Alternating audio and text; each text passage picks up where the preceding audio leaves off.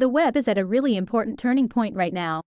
Up until recently, the default on the web has been that most things aren't social and most things don't use your real identity. We're building toward a web where the default is social,